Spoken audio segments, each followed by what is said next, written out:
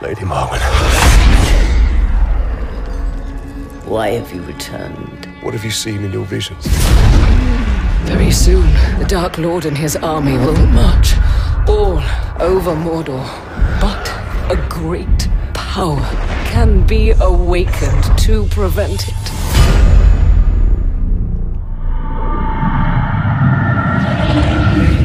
Can the curse be broken? Destroy the Black Hand. Your power begets followers, willing or otherwise. Find an orc leader, make him a war chief, and all his soldiers will be yours. An orc army.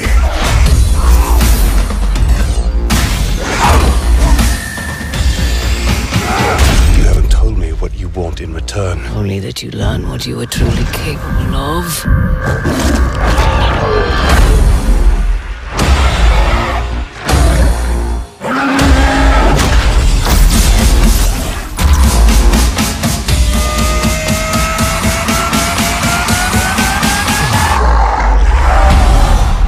am I to lead this army of mine?